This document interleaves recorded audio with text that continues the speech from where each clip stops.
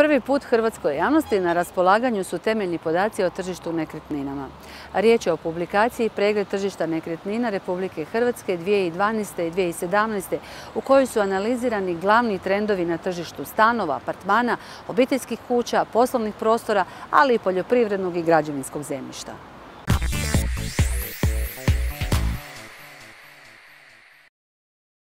Imati potpune i usporedive podatke od iznimne važnosti za sve one koji svoje poslove ostvaruju na tržištu nekretnina.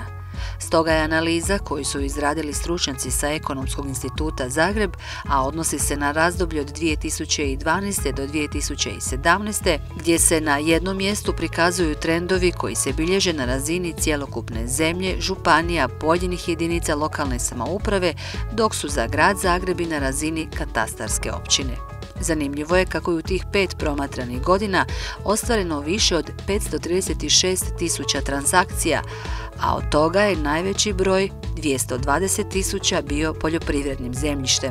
Ukupna vrijednost transakcija u 2012. godini iznosila je 22,4 milijarde kuna, da bi u 2017. narasla na 27,8 milijardi, što predstavlja 7,7% BDP-a Hrvatske te godine. Najznačajniji udio u vrijednosti transakcija na tržištu nekretnina imaju stanovi na koje se odnosi 35,4% vrijednosti ugovorenih transakcija a vidjet ćete da tu postoji izrazito velika heterogenost gdje se i po ostvarenim prosječnim cijenama i za stambene nekretnine, i za obiteljske kuće, i za poslovne prostore, i za različite tipove zemljišta, vrlo lijepo vidi da određeni dijelovi zemlje doista izumiru, dok ekonomska aktivnost buja u velikim gradovima, gradu Zagrebu i uz Jadransku obalu. Ono što je možda posebno zanimljivo i u dugom roku potencijalno problematično jest što e, cijene svih tipova nekretnina uz Jadransku obalu rastu značajno brže nego recimo u gradu Zagrebu, tako da već sada imamo e, četiri županije, e, dakle od Zadarske pa južnije u kojima su prosječne cijene rezidencijalnih stambenih nekretnina veće nego u gradu Zagrebu. U mnogim većim gradovima poput Zagreba, Splita, Rijeke, Osijeka i Dubrovnika dominiraju kupoprodaje stana, odnosno apartmana.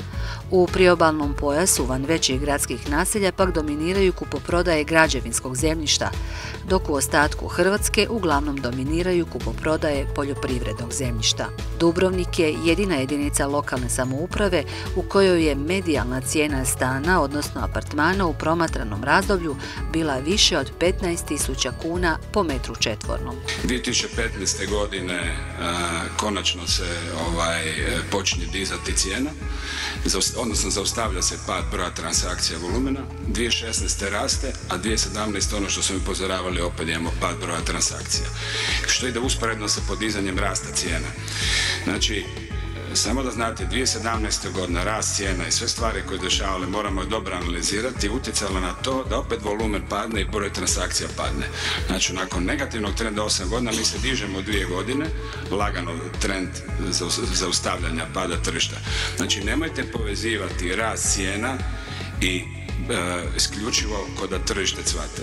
Znači, to nije volumen tržišta. Tržište nekretnina puno širi.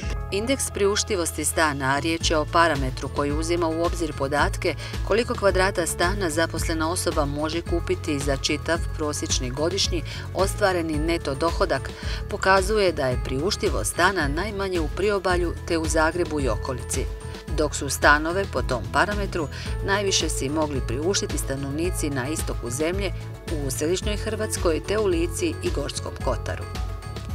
Kad govorimo o obiteljskim kućama, u svega pet jedinica lokalne samouprave, medijalna cijena bila je viša od 10.000 kuna po kvadratu i to u Vrsaru, Taru Vabigu, Rovinju, Dubrovniku i Konavlima.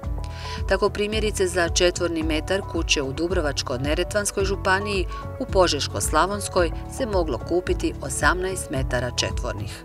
Uvijek je rast cijena nekretnina vezan uz stanje opće u gospodarstvu teško da se može reći da je jedna mjera ili jedan utjecaj može napraviti poremećaj, ali e, opće stanje gospodarstva e, uvjetuje da li, na šta se zbiva na nekretninskom tržištu, da li ono pada ili, ili ono raste.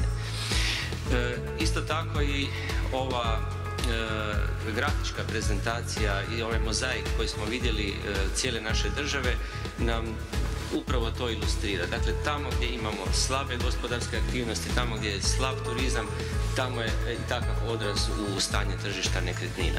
U samo šest jedinica lokalne samouprave medijalna cijena prodanih građevinskih zemljišta bila je više od 1000 kuna po kvadratu i to u Biogradu na Moru, Bolu, Dubrovniku, Pučišćima, Smokvici i Splitu. Poput građevinskog i poljoprivredno zemljište bilo je najskuplje na Jadranu, a u najplodnijoj Vukovarsko-Srijemskoj županiji medijalna cijena po metru kvadratnog poljoprivrednog zemljišta iznosila je tek 3,5 kune. Najviše medijalne cijene prodanih poslovnih prostora od 12.000 i više kuna po metru kvadratnom zabilježene su u četiri jadranska grada – u Rovinju, Medulinu, Opatiji i Dubrovniku.